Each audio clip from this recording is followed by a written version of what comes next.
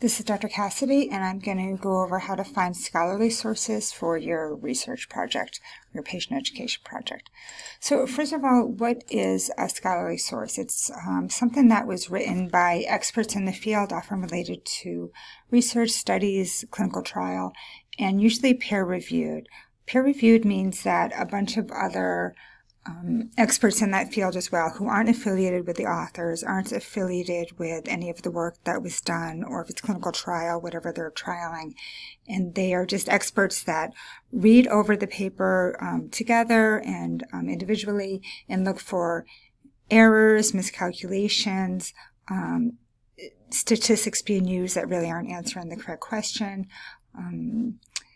Potential biases or potential conflicts of interest, anything that would make this piece of work not considered a reliable source. So they'll go through and, and peer review that.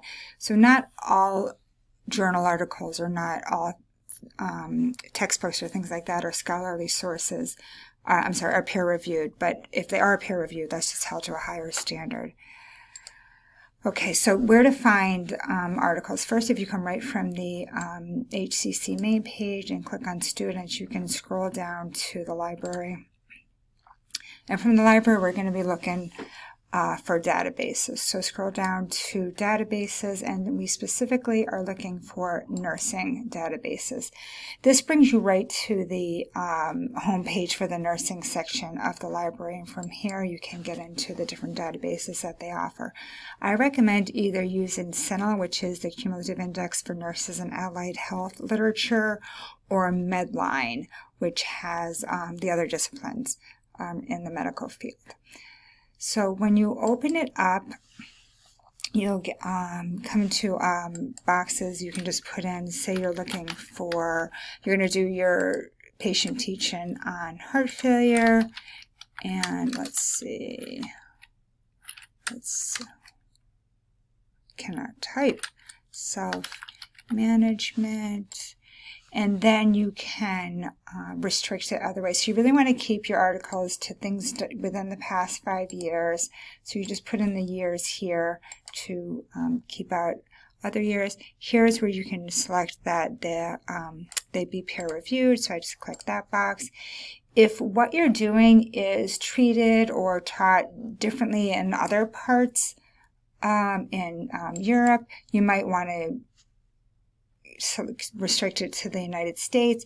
If you were doing something specific to pediatrics, you could um, select something here.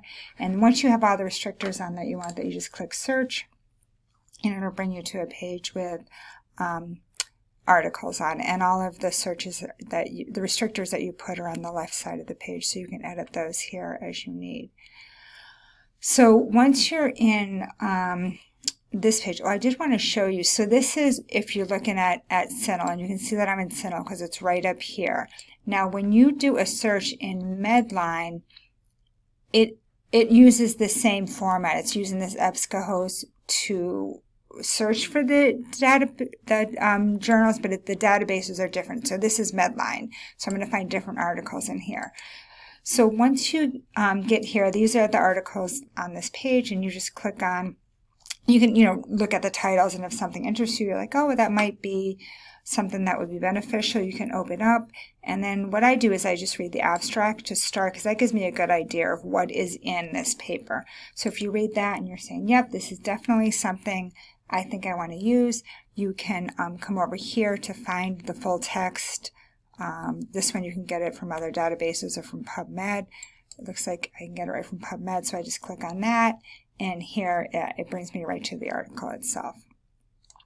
The other thing I can do back from this page is I can get the um, citation that I need for my reference page. So we are we use here in nursing we use APA so make sure you scroll down and use the APA 7th edition one and all you have to do is just copy it and you can um, uh, paste that right into your reference page. I did on the, um, yeah, right here on the instructions, I have a uh, template of a reference page for you and this is already formatted.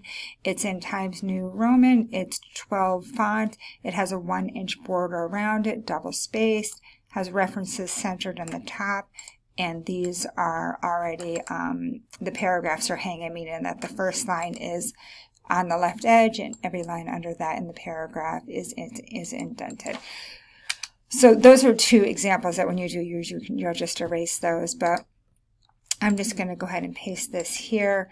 You'll see that it comes in with this um, weird highlighting when you do it from there. So I just want to take that away and change it to the right color. And it also came in as Arial in 10. So that's all I do and fix it. Now it is set up just exactly how I need it for my um, reference page. So if I just paste this in without formatting, and you can definitely do that too, and this is how I do it, if you know which parts of it need to be italicized, so like I know that the on this reference, that is a journal article, then the journal and the volume number get italicized, and that's here. Then you can do that because you're going to lose all the format if you do it without formatting. If you don't know, then you should just keep the formatting and um, we can right click and get rid of that uh, keep the formatting and just put everything back to the Times New Roman 12. Okay. Um, let's see what else. Do I, the other place you can go to um, find out how they should be formatted you can come here to this apastyle.apa.org and this, um, where is that?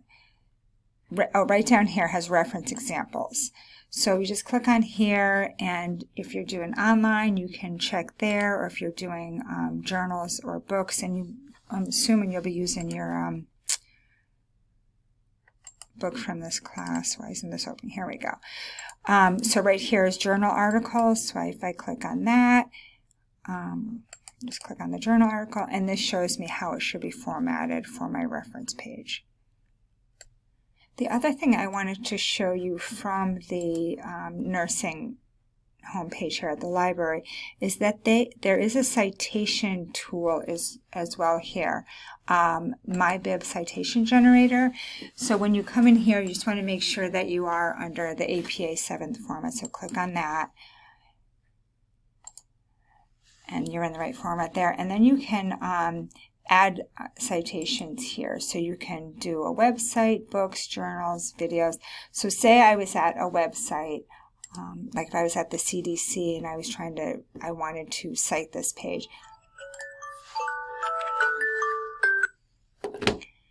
You can just copy and paste the, um, where we go?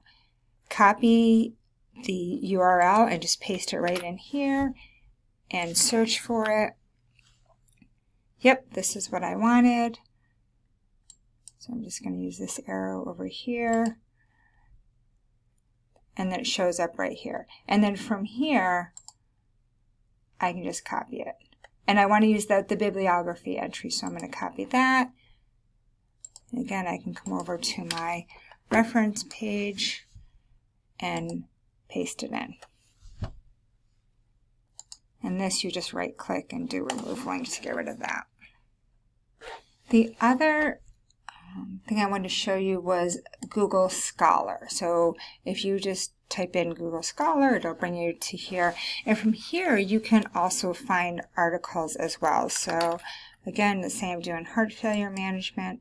If I just click on that, it's going to bring me um, to this. And you can, over here on the left side, you can limit your searches. So I want to do last five years. So I'll do um, since 2018.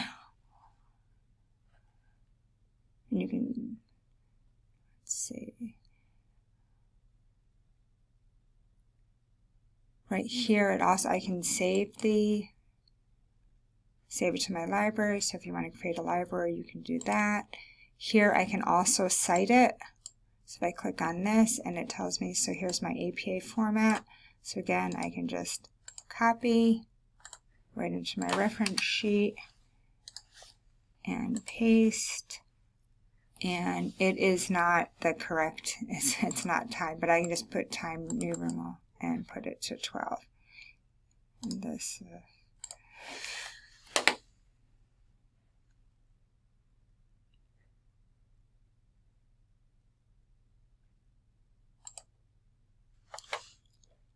nope, I lost, here we go.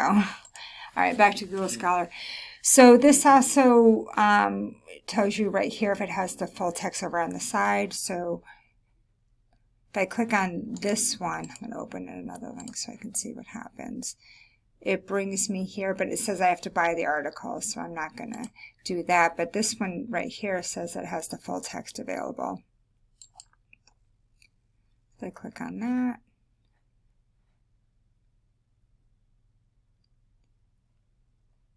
And I can read the full text right here.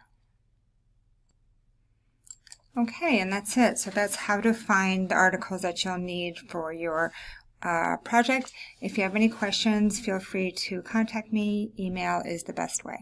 Thank you.